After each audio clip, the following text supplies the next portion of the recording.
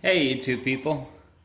I recently did a video on how to charge an electric vehicle using a portable battery backup. One of the questions I received after posting these videos by several people was how I created this uh, dummy plug, which the dummy plug, what that allows you to do is to bypass a ground fault error that you might run into when using either a portable battery or even a portable generator, uh, such as those Honda EU units that a lot of people seem to really like.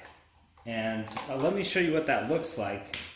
So, and this, this might happen on any number of electronic devices, but if I plug this in to this uh, portable generator, you can see that it gets angry at us. It says, we've got a power fault here.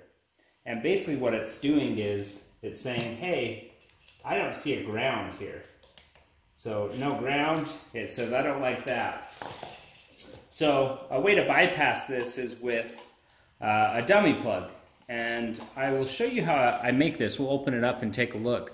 But just to see how it works, basically what it does is it connects the neutral and the ground and allows uh, the device to detect the ground unit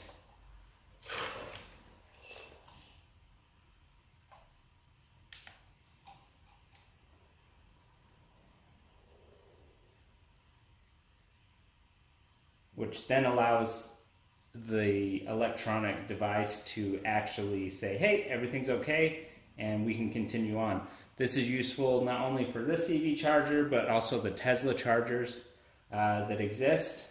And just generally, if you have a generator or a portable battery, you can do this kind of hack. So one thing I will say is, you, you know, I, these checks are there for a reason, and while I do know that this unit is grounded internally, and I do know that it does work, do this at your own risk.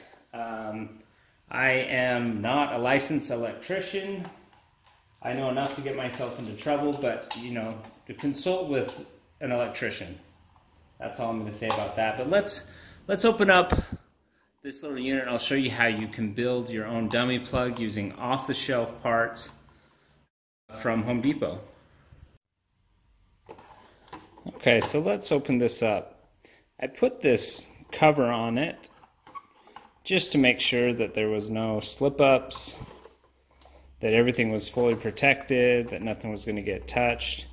But basically all you're looking at is a basic faceplate cover and a standard uh, 15 amp or you may want to step it up to a 20 amp outlet here and this is the same type of blue box that would go in your wall. Uh, a new work box. So just go ahead and open this up.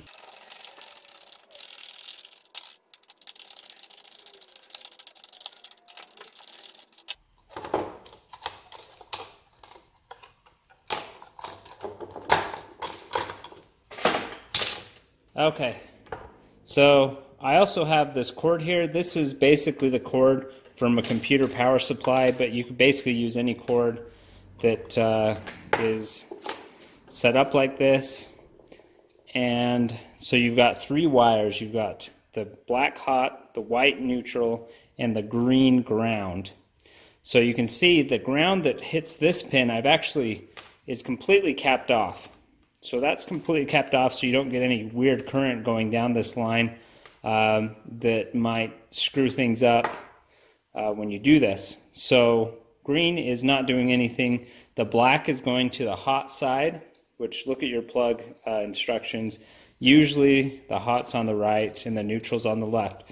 So here's the money shot right here. So you've got the white hot and the ground, and you can see that the ground I've basically just taken a piece of copper wiring. I just stripped out, uh, you know, some just some standard copper, uh, probably 12 gauge wire, and uh, set it down on the ground, and then also terminated it to the neutral. and I chose not to actually hook this green up into here because I didn't want neutral flowing back out onto this pin if it wasn't connected to something. I didn't want it to touch anything. So uh, this is how you build a dummy plug. You can do this on any outlet. Um, once again, uh, if you don't know what you're doing, consult an electrician first, but this will allow you to trick generators or portable battery packs into delivering power when they think that there's no ground. So I uh, hope this helps you out and it helps you in your projects. Thanks for watching. Please subscribe and we'll see you later.